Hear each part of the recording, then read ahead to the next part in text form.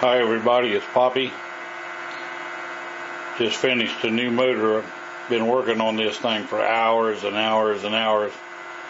Gonna find out how it works. Has 15 run coils, one trigger coil.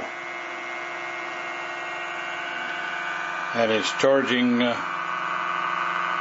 my little worker battery from the uh, kid's car battery. You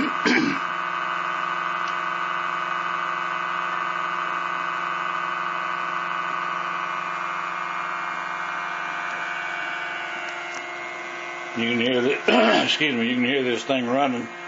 and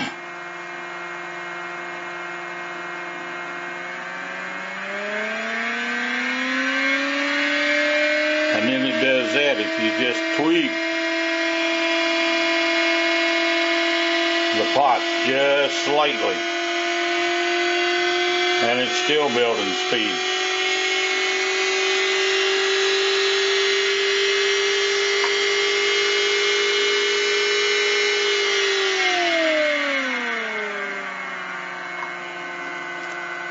Put it back down where it's almost safe.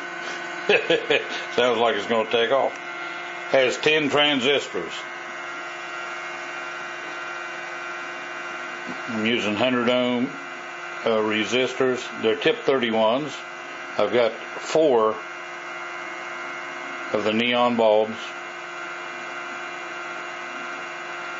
And I'm using uh, dual diodes on the collector.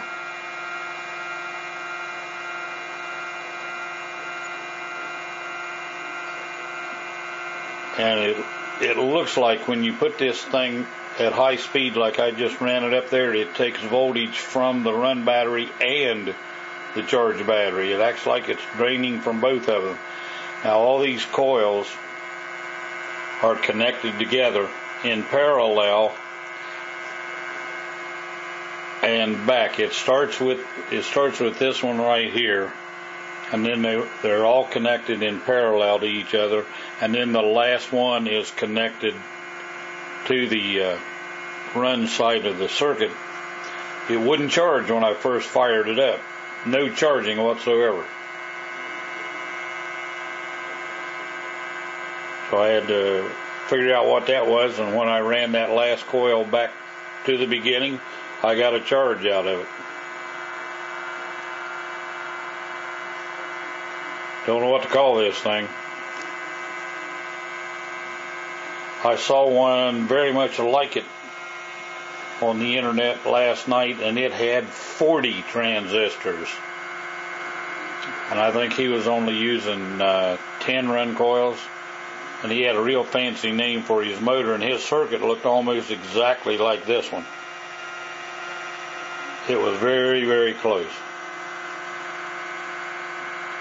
But there you have it. New motor. Whole bunch of speed.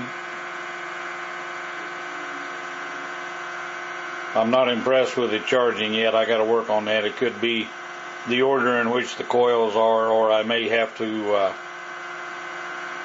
eliminate some of the coils instead of having 15 run coils. Take it down to six or eight.